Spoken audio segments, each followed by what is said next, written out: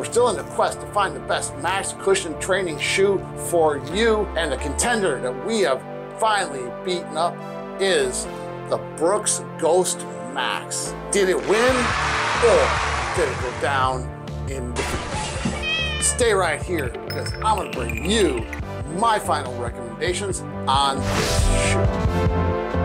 Well, if you're tuning in and you have not seen the full-length video, right here there's a card that will take you to the full-length video.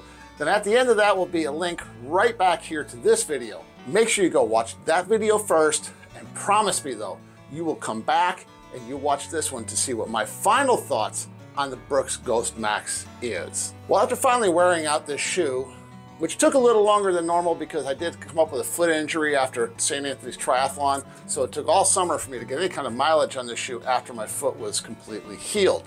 Now, the upper condition on this shoe was really, really great. This thing didn't wear, didn't show any wear at all. It held its structure very, very well.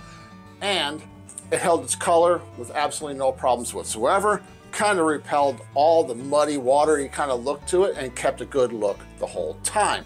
As far as comfort goes, the only problem I had with these shoes is right here, if you look, you'll see there's a couple of indentations right here by the toe push off. Those little indentations would kind of stick into my toes for the first couple of steps each and every time I ran after about 100 miles. For about 10 steps, you could feel them, and then it kind of went away. It was no big deal. Other than that, this is one of the more comfortable shoes that I've worn. They fit well. This is a wide shoe, which they were available in wide. That's a big plus for them. So I did find them to be really, really good as far as the comfort went. The cushioning stayed, you'll see there's no, there's no wrinkling along the edge of this whatsoever, which is usually an indication of the foam breakdown.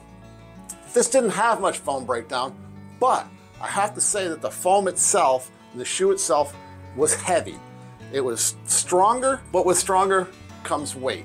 The shoe did run quite heavy. The inside of the shoe, the inner, all has absolutely nowhere, nowhere at the back, nowhere at the, at the sides. Nowhere did I get any hot spots out of the shoe whatsoever when I was running it. And the uh, insoles stayed in place, never moved around, didn't shrink, didn't do anything that was not unexpected. As far as the quality of this shoe goes, this shoe is a very high quality shoe, just like most all of the Brooks shoes are.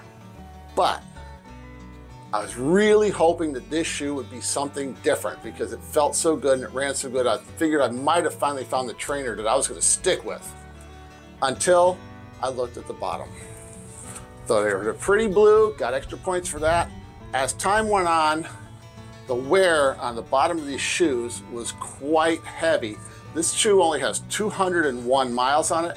And if you look right here, you see where it's worn all the way through. As I wore through this, the back of the shoe became a little bit more uh, rocky into the foam. But other than that, this shoe really did hold up well. Uh, the push off right here, got a little wear through on the push off after only 200 miles. Some people like to get six, 700 miles out of a pair of shoe.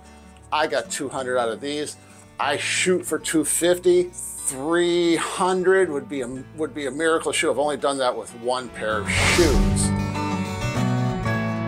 Now, let's take a look at the contenders in our battle to see where they stood versus where this shoe stood. The Diadora Vigore, $111, 51 cents a mile.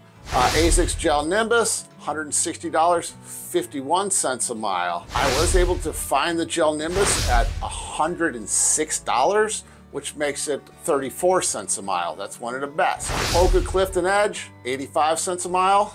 The New Balance, 840, 54 cents a mile. And the On Cloud Monster, $1.34 a mile. They're out of the battle.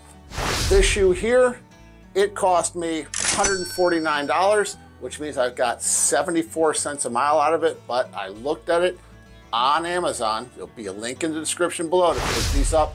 $99, giving them 50 cents per mile. Would I buy these again? I might. They did really run well into water. They had a really good grip. I might use them as a, a wet shoe. Again, would I buy a shoe I only got 200 miles out of? I don't know. My recommendation on these shoes are they're a very good value for what we're doing. If you're a lighter runner, you might work your way up to recommendations. So the next shoe that we're taking a look at is, is the Saucony Race 4, or is it 5? You'll have to check out the video. It's the newest one. It's posted right here. Till then, there'll be a link back to the shoe to watch the video on this one. Make sure you subscribe, hype this up if you really like it, and if you want to help the channel grow, hit me with a super thanks right there. This is Coach John, Brooks Ghost Max. Boom.